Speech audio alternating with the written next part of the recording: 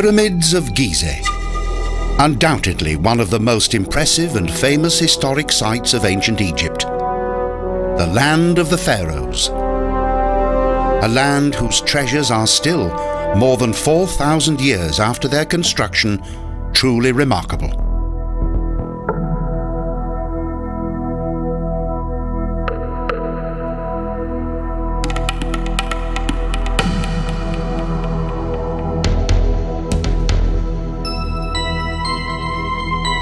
A total of 2.3 million stone blocks form the largest pyramid.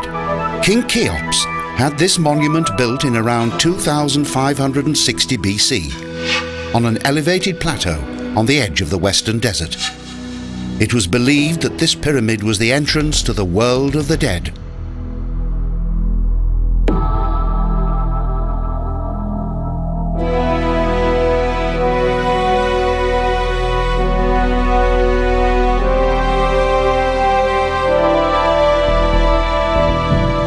With this mighty pyramid, King Cheops hoped that after his death, it would ensure his existence in the next world.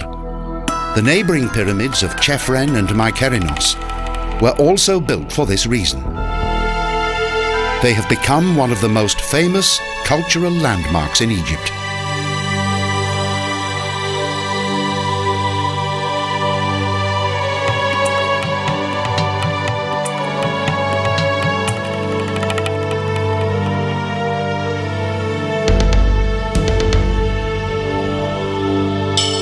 The proud stone giants of Gizeh are the only ancient wonder of the world that have survived until the present day. Their construction and design are still a mystery.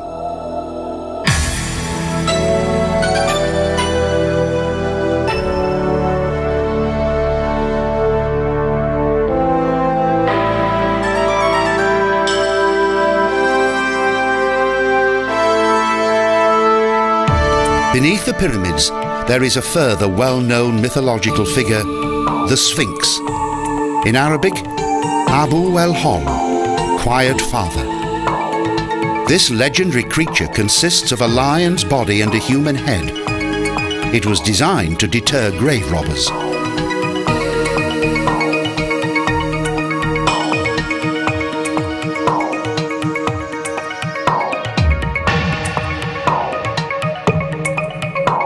Having evolved from early Neolithic roots in around 3000 BC, for the first time Egypt developed into a powerful and important culture. This marked the beginning of the age of the pharaohs and their magnificent monuments.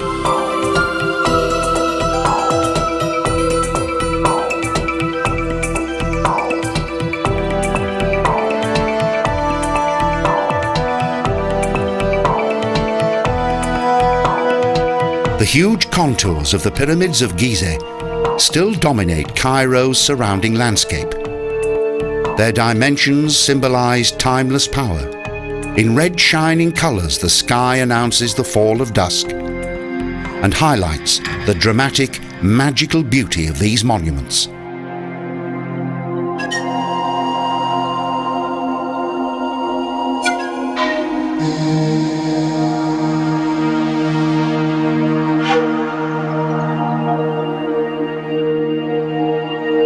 Illuminated by spotlights at night, the monuments seem to become even more magical and mysterious.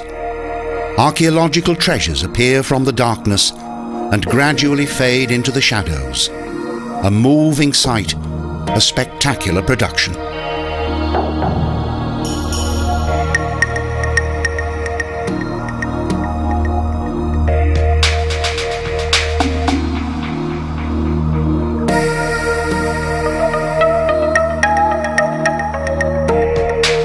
The leading actor in this fascinating play of light is the scenery itself, the Sphinx, the temples and the eternal pyramids.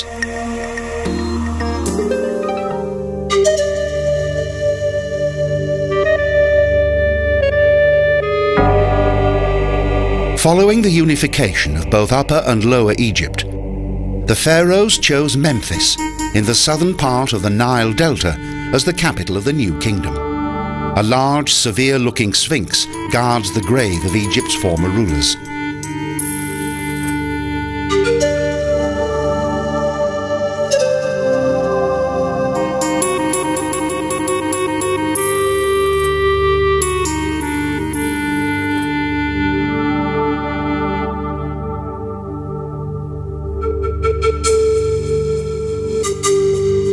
In the second millennium BC, the prosperous metropolis covered an area of around 15 kilometers in length, from Gizeh to Saqqara. In contrast to the hard-wearing granite and limestone of the temples, nothing remains of ancient Egypt's ordinary dwellings.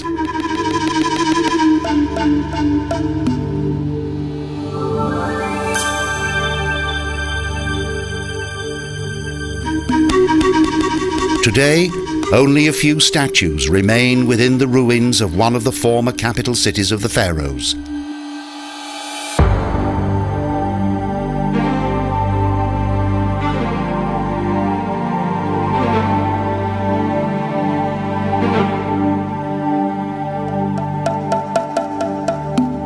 The cultural acquisitions of the Egyptians are numerous and often quite puzzling although one of the greatest mysteries, that of the hieroglyphs, has now been solved.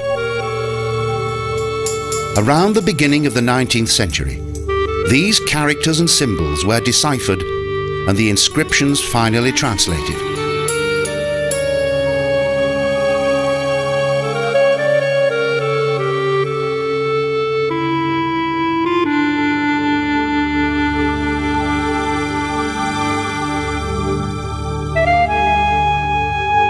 The oldest stone inscriptions are almost 5,000 years old.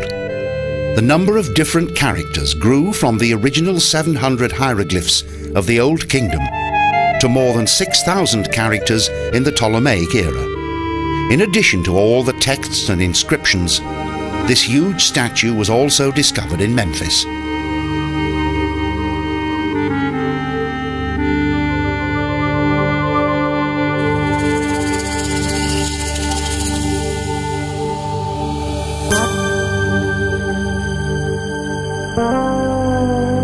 The colossal statue of Ramses II was created from a single piece of granite.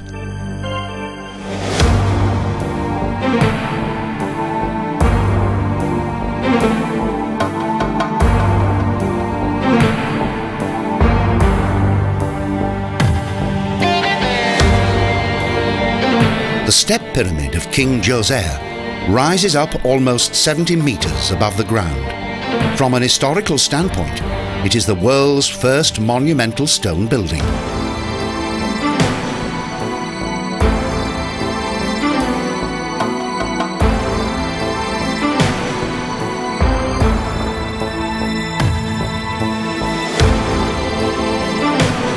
Due to the 110 by 121 meter rectangular ground plan of the Saqqara pyramids, the burial site of Memphis is reminiscent of an earlier architectural structure related to the pyramids, the mastaba.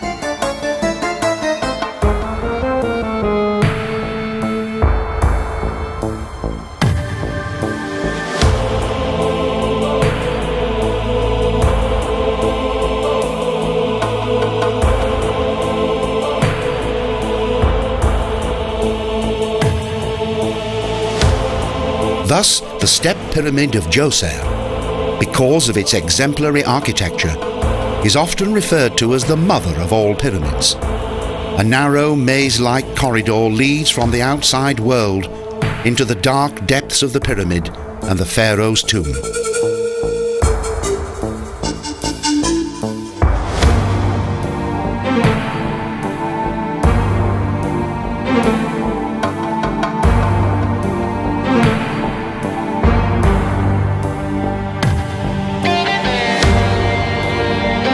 Builder of this mighty and massive grave was the famous intellectual and highly praised architect Imhotep.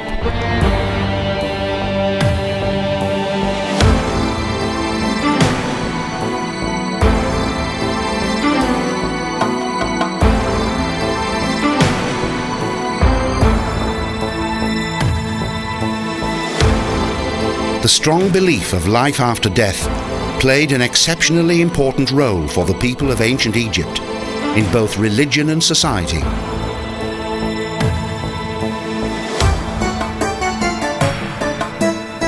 For over 4,000 years, the buildings that date back to the time of the pharaohs have successfully survived the forces of nature, a fact that also colours this legendary historic epoch.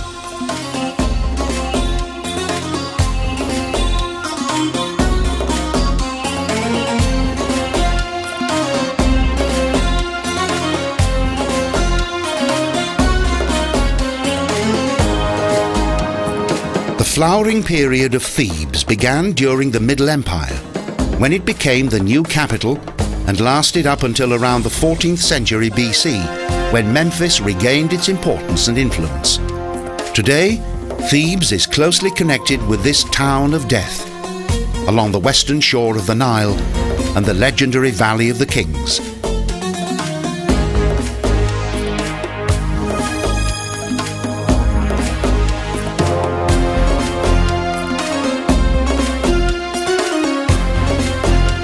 Temple of Death of Queen Hatshepsut extends along a 300 metre high rock wall. Because her husband, Tutmosis II, died at an early age, the Queen ruled the country for 22 years.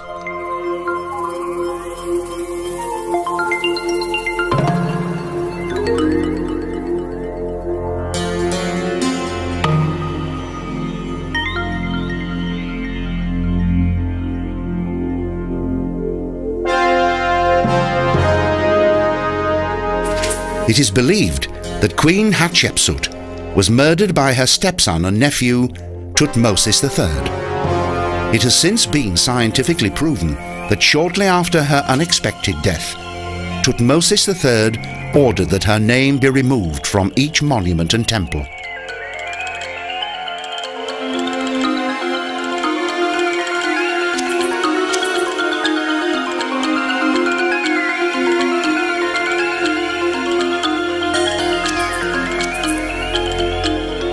Hundreds of graves have been discovered on the extensive necropolis of Thebes. In addition to important members of the royal family, the graves of aristocrats, civil servants and priests have also been discovered here.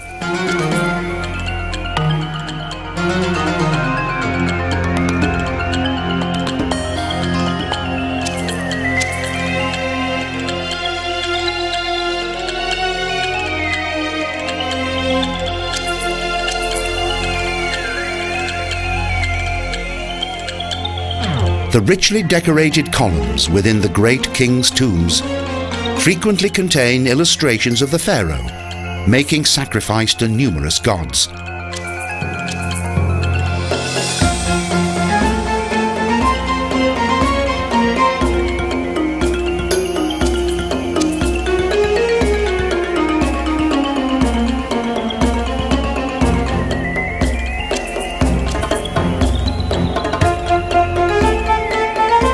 Tutmosis I, the first Egyptian sovereign to resemble a god, was buried in the Valley of the Kings. In order to protect his grave from thieves, he and his master builder Ineni chose a remote and hidden place among the rocks. However, despite precautions taken by following generations, their final resting place was eventually plundered.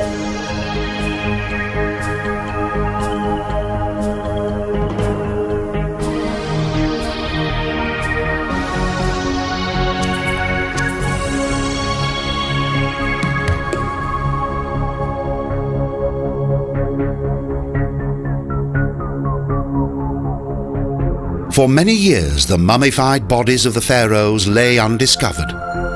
Unlike the precious gifts that had been donated to the dead pharaohs, fortunately, the mummies that date back to the 17th and 20th dynasties have survived.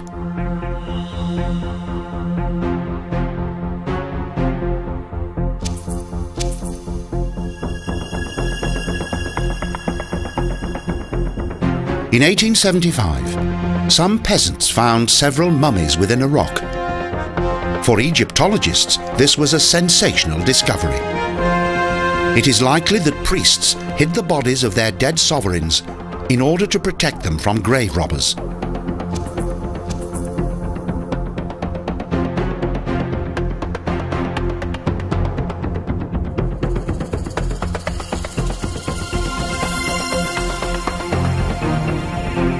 In 1922, the discovery of the royal tomb of Tutankhamun by the British archaeologist Howard Carter was particularly important. After five years of excavation, the scientists were successful. And the spectacular treasures surpassed their highest expectations.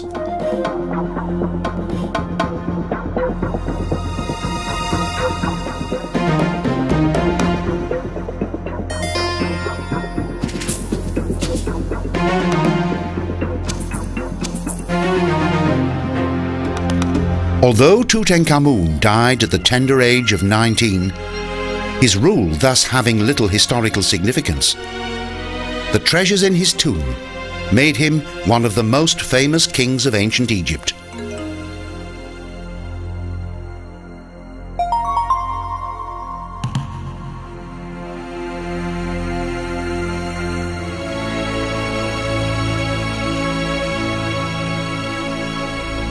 Today, the legendary sarcophagus, that is made entirely of gold, is exhibited in the Egyptian Museum in Cairo.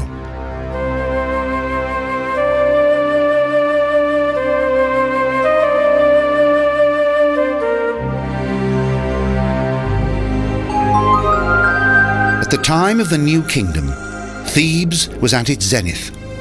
The pharaohs squandered their wealth on huge monuments in a lavish bid to outdo all rivals.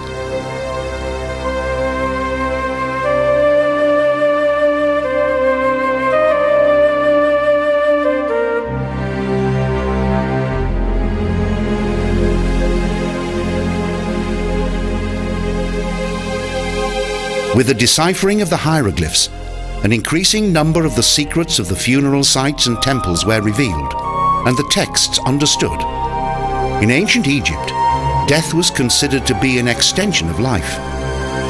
Several illustrations and descriptions of the ancient Egyptian myth of the dead, the Book of Gates, adorn the walls and ceilings of these tombs.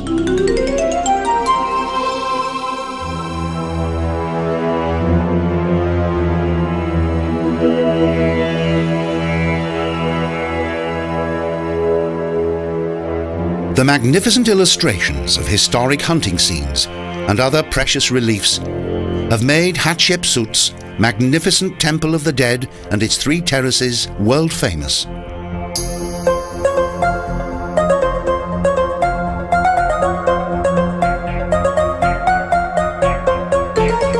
It is thought that these structures were built by the Queen's lover. Despite the work of archaeologists, the mummy of Hatshepsut has not yet been discovered.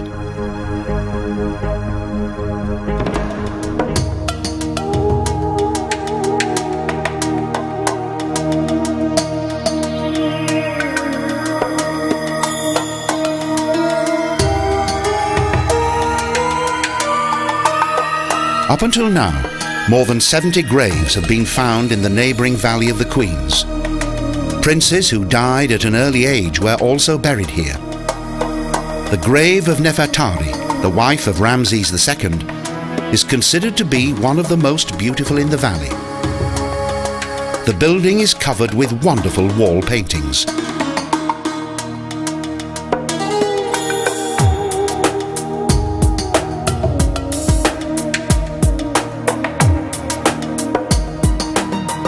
According to ancient Egyptian belief, the hieroglyphs and artistic reliefs were designed to comfort the dead in the afterlife.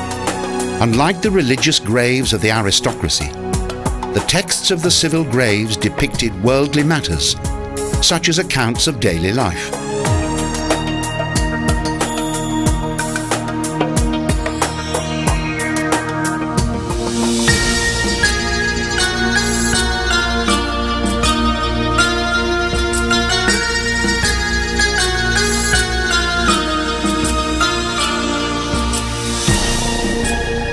Close to Thebes and today's Luxor along the eastern shore of the Nile, is the temple area of Karnak.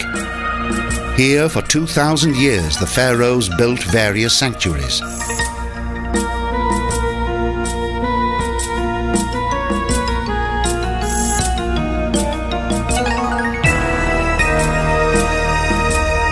These buildings were constructed with no reference to the architectural and artistic designs of those that existed previously.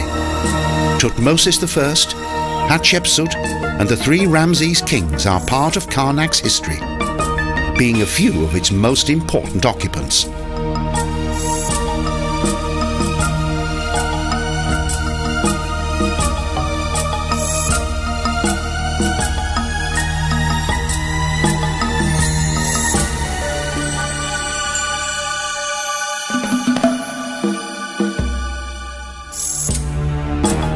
Greatest temple was dedicated to Amun, god of wind and air. The kings of the new kingdom made Amun the national god of Egypt. In the 16th century BC, he was also associated with the powerful sun god Ra.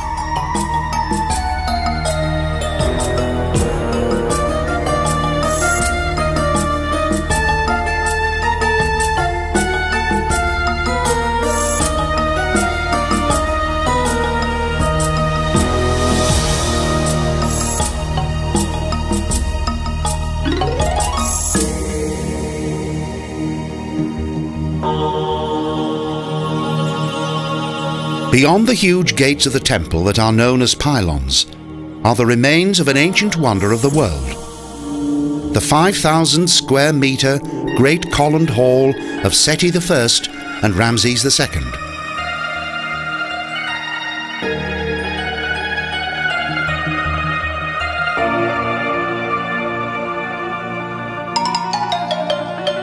Several illustrations of women suggest that a unique ritual was held in the Amun temple in Karnak that was closely associated with the legendary history of the creation of ancient Egypt.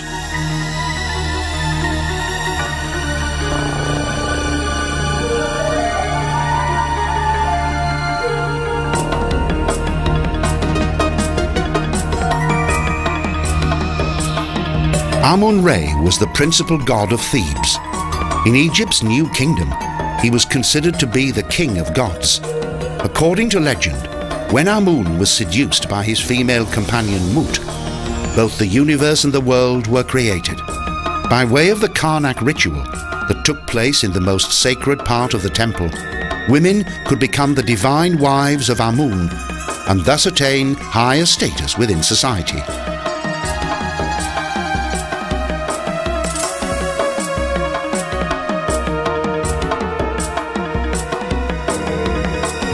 The great Court, that covers an area of 8,000 square metres, is the largest of its kind in Egypt. Today, only one 21 metre high column still rises up into the sky. The sanctuary of Ramses III was later integrated within the courtyard.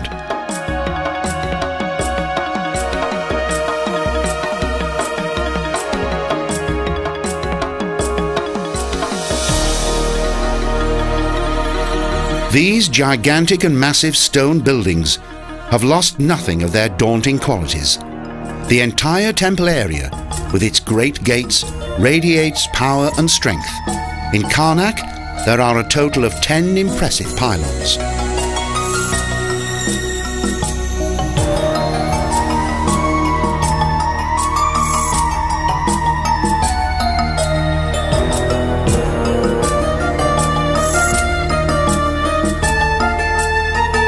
Rulers of ancient Egypt hoped to win the favours of the gods in order to augment their positions of power as well as to increase their influence on the people.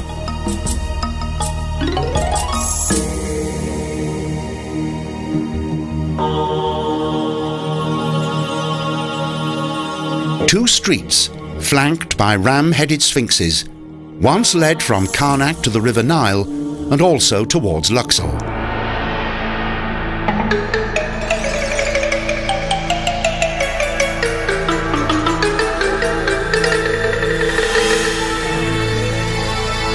A long and impressive avenue once connected the Luxor temple, located by the water's edge, with the holy district of Karnak, just a few kilometers away.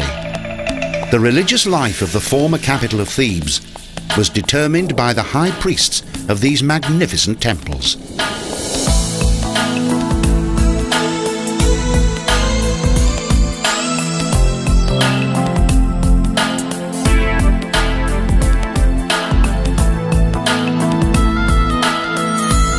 Amenophis III and Ramses II built the temple to honor the three Thebes gods, Amun, Mut, and Chons.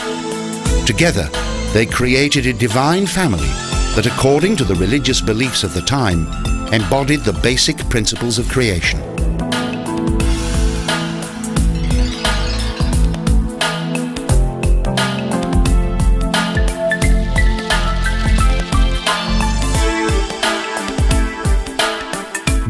Darkness surrounds the mysterious interior of the most sacred area of the temple. Normal citizens were not allowed within these chambers and halls. Even though the sanctuary was once used by Christians and now contains a mosque, the present-day condition of the ancient Luxor temple is remarkable.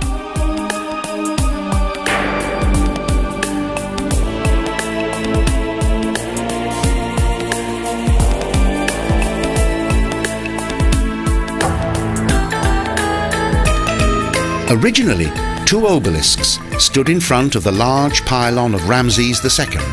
Today, only the left one remains in Egypt. The other 23-metre-high obelisk that weighs around 220 tons, and after a journey that took four years, arrived in France in 1833, where it still adorns the Place de la Concorde in Paris.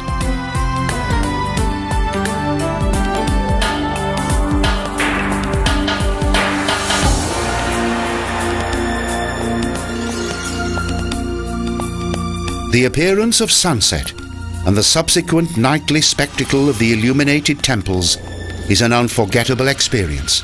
At night, the atmosphere of the ruins is one of mystique.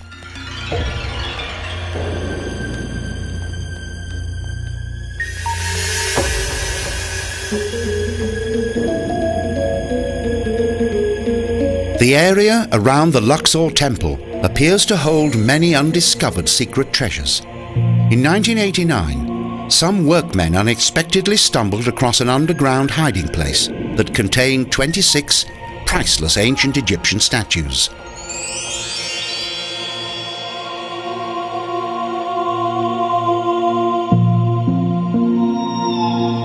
Although the names of the ancient gods Amun, Mut and Chons belong to the past, the temple is still used for prayer within a mosque. Surrounded by large numbers of archaeological finds, the mosque has retained the religious traditions of these ancient buildings.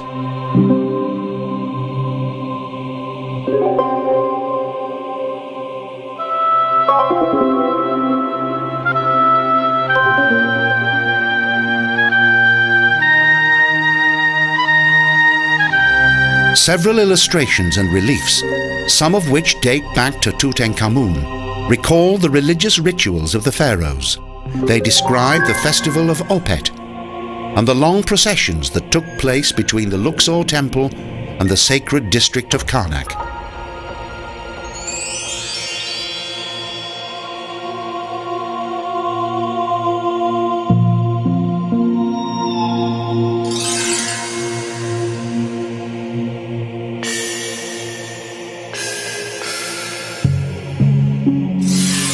Worship of the three divine gods in the inner sanctum of the temple was reserved solely for a few high priests and for the pharaoh himself. Normal citizens were not permitted to enter. It was only at the time of the new kingdom that the temple gradually lost its significance. Thebes, that in its golden years once had a million inhabitants, now had more testing times ahead.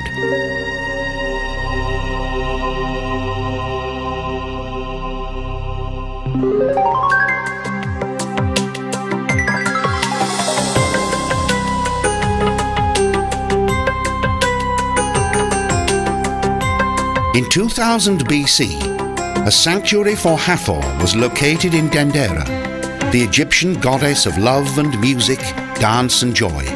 However, today's temple was built much later, in the 1st century AD, and it took more than 40 years to construct.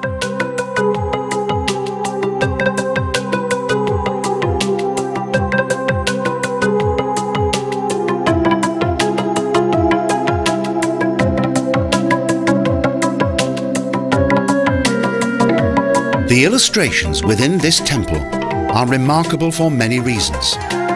Hieroglyphs and portrayals within the reliefs contain the knowledge of thousands of years and also countless secrets.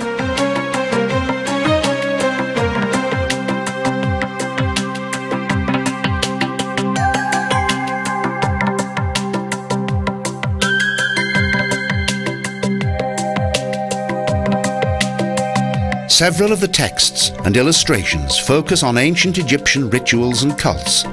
The most important day in Dendera was the Feast of the Beautiful Union. It was then that the statue of Hathor was removed from deep within the temple and taken to her husband's sanctuary in Edfu.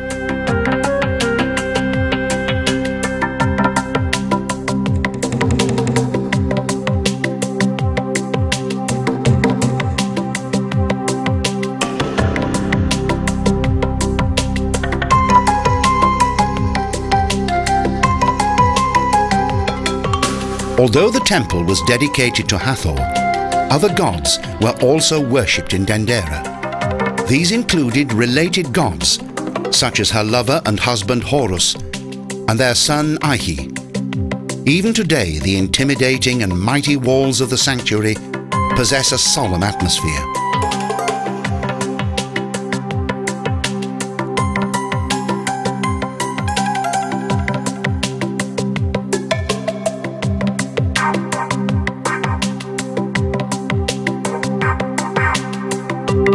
In addition to an illustration that attracts much attention because of its mysterious light bulb-like objects, archaeologists discovered numerous hieroglyphs. They appeared on various walls of what is known as the Chamber of Technique, and this was the first time that these symbols had been seen.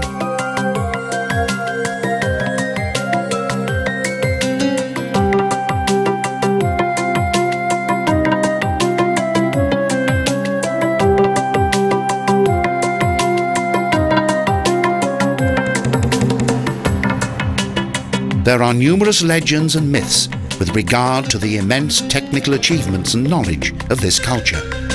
Even so, many questions will inevitably remain unanswered. However, today much more is known about the former religious rituals and the gods of ancient Egypt.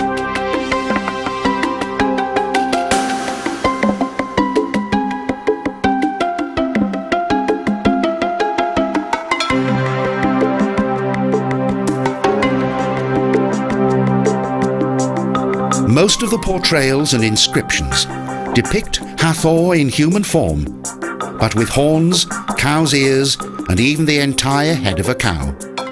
So far, little is known of the precise symbolism of this unusual image that goes against the traditionally accepted concept of beauty.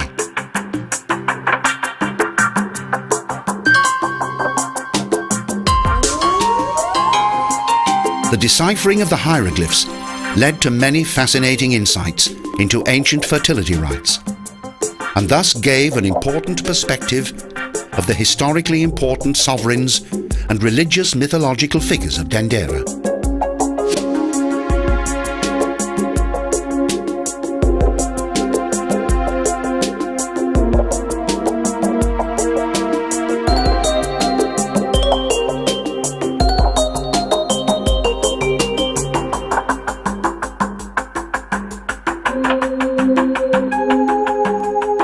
Temple area, there are three beautiful birth houses. They date back to both the 30th dynasty of the Pharaohs in the 4th century BC and also to the Roman period. These buildings were dedicated to the birth of Ihy, god of music and son of Hathor.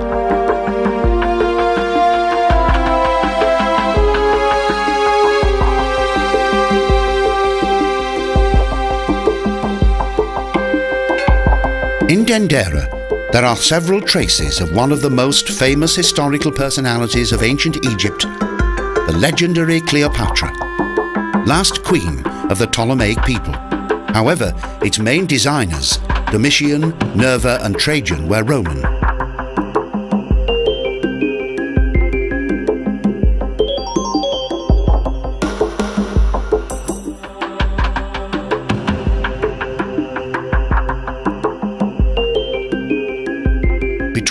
Birth houses are the ruins of a small early Christian church of the Copts.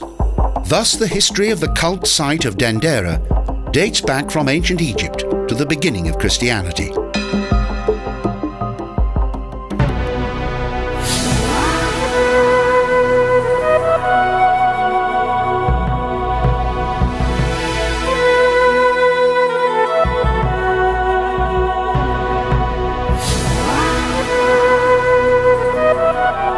As with the sanctuary at Dendera, the Horus Temple of Edfu was built by the Ptolemaics. A huge and demanding project, it was constructed between 237 and 57 BC.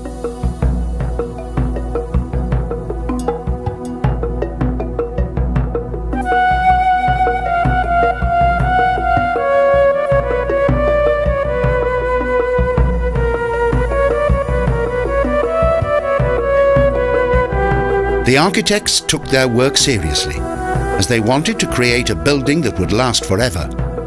The sanctuary, built in traditional ancient Egyptian style, with its tall and magnificent columns, is one of the country's most well-preserved temples.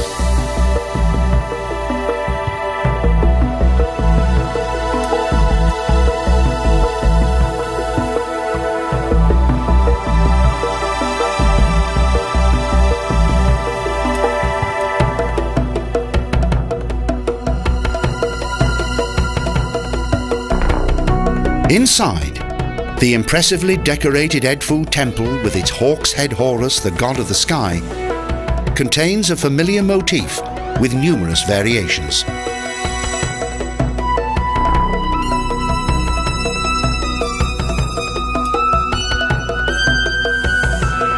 A total of 32 columns adorn the temple's large front courtyard that was protected from the outside world by a wall. The sun bark was the most important religious symbol.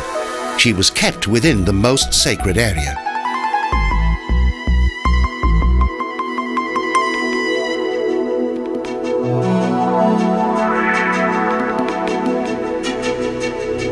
The interior of the temple contains an impressive abundance of hieroglyphs and relief-like paintings on the walls.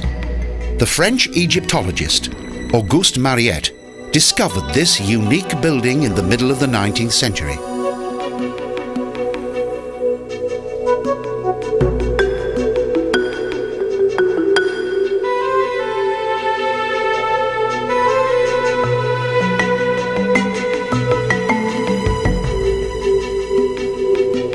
Scientifically, there is much within the temple. Until 1975, only around 10% of the hieroglyphs of Edfu had been deciphered.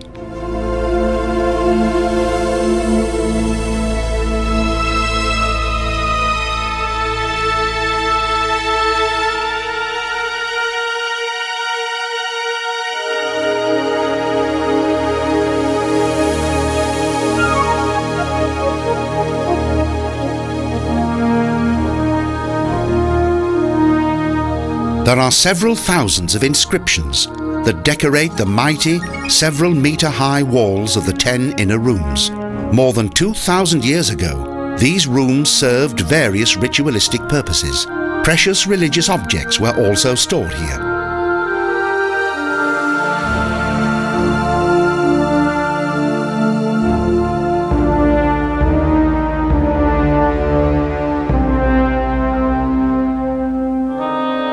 The Horus Temple of Edfu provides an indelible impression of the fascinating and intriguing historic culture and religion of ancient Egypt.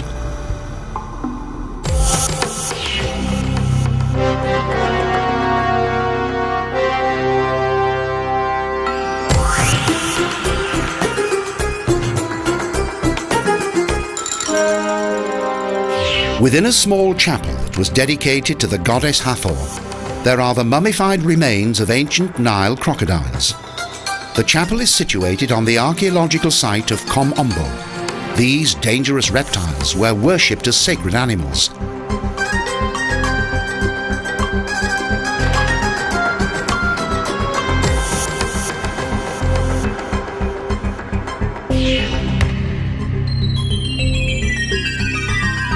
The division of the temple into two parts is unlike other Egyptian sanctuaries.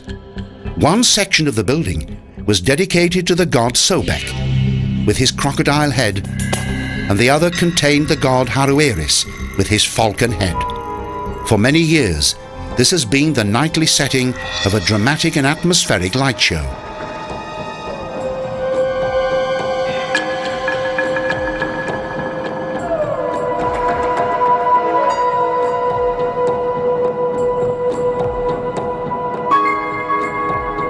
The mysterious nocturnal ambience seems to make the ruins come alive.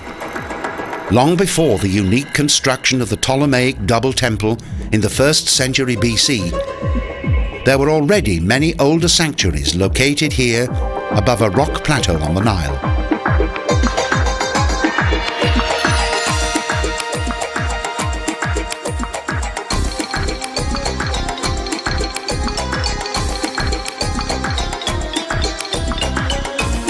Each year, festivals for the gods were held here, as well as the official celebrations of the pharaohs.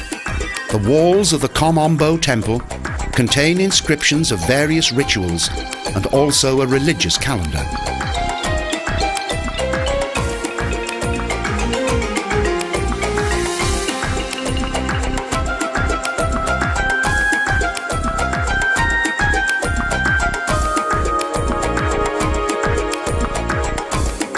Sobek was considered to be the god of fertility, who was at times also regarded as the creator.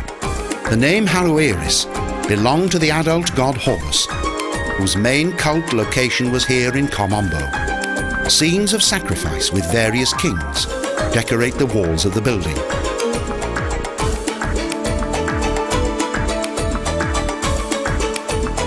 The temple's exterior contains a number of unusual reliefs that depict medical implements, such as surgical knives and tweezers. Thus, this cabinet of instruments has been immortalized in stone.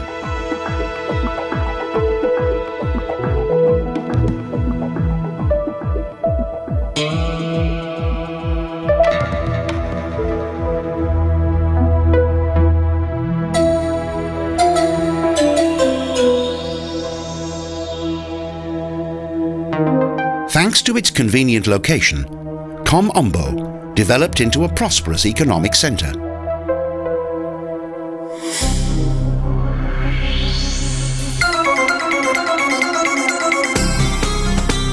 The remains of the Philae temple also date from the Ptolemaics, even though it is not in its original location.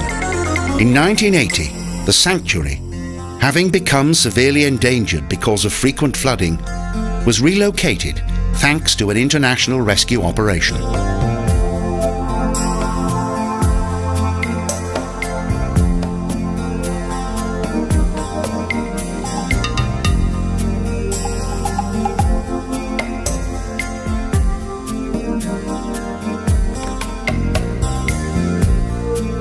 Even 19th century travellers appreciated the beauty of the buildings and the natural surroundings of the temple's sacred island.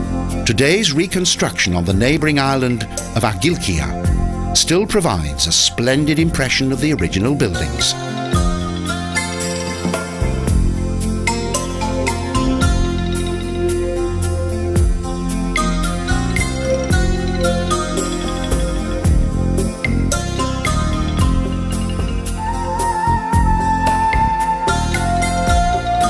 During the transfer of the huge stones, columns and statues, the original foundation of the temple was overlooked. Thus the age of this Isis sanctuary is still unknown. On the island of Agilkia, the oldest remaining architectural elements date back to Nectanebos I and the 30th dynasty.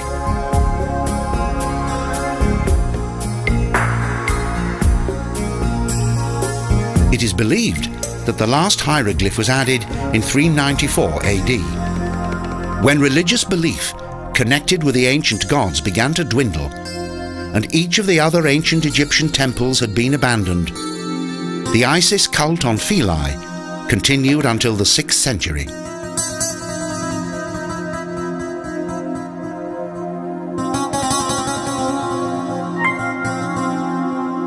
Next to the pavilions of Nectanebos and the Roman Emperor Trajan, there was a smaller Hathor sanctuary in the temple district. Toward the beginning of the New Kingdom, Hathor was increasingly associated with the goddess Isis, the wife and sister of Osiris, the god of the netherworld and of resurrection.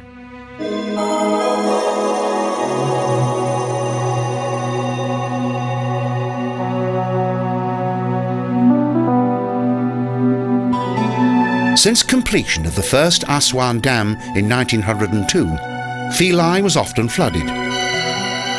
The annual floods sometimes continued for up to nine months. This Egyptian sanctuary, like many others, had a Nilometer, a device that measured the water level in times of flood.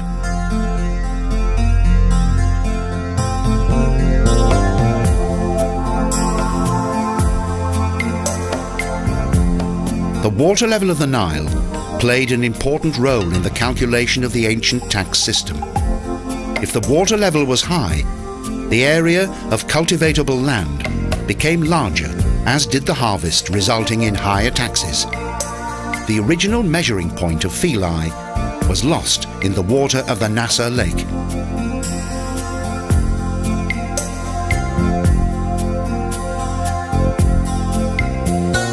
Today, it almost seems like a miracle how the majestic temple of this ancient cult still rises above the water.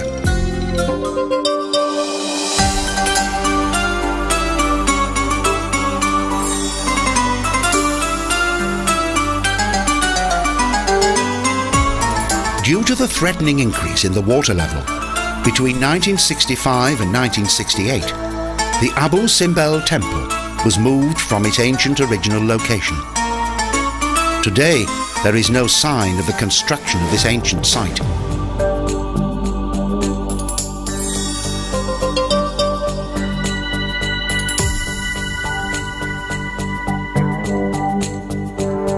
In front of the great temple are four mighty 20 metre high colossal statues of a famous pharaoh, King Ramses II.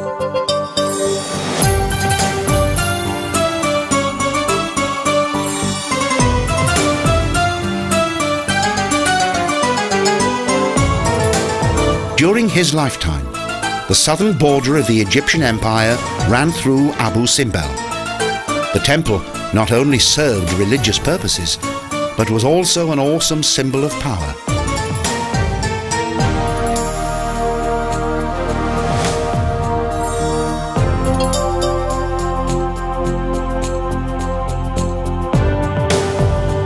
The sanctuary was designed to stamp the authority of Ramses II on the Nubians and other neighbouring peoples. Several illustrations feature the glorious military victories of the Egyptians.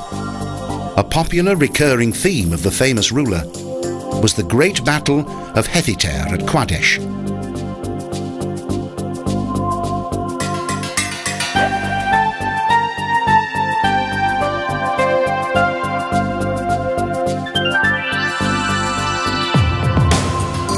To save face on behalf of the Pharaoh, this battle was depicted as a victory. But the truth was that the Egyptian army barely escaped bitter defeat. The illustrations reflect the military prowess of Ramses II.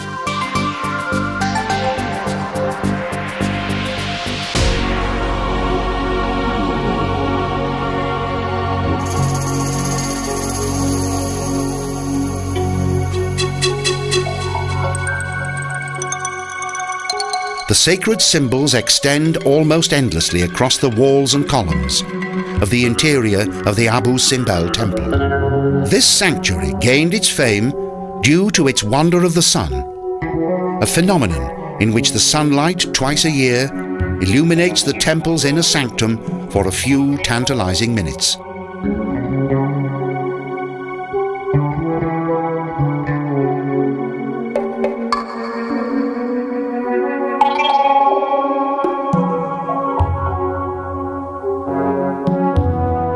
King Ramses II was not afraid of presenting himself as a living god. During the wonder of the sun, the light moves across the god Amun and then over to the pharaoh, where it lingers until it finally reaches Ra Harakte.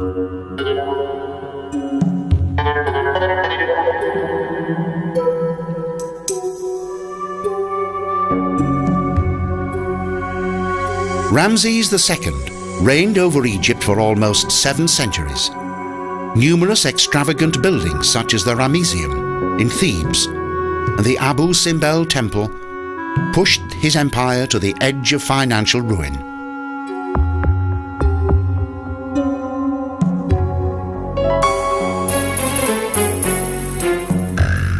The Egyptian king's rule came to an end in 332 BC with the victory of Alexander the Great.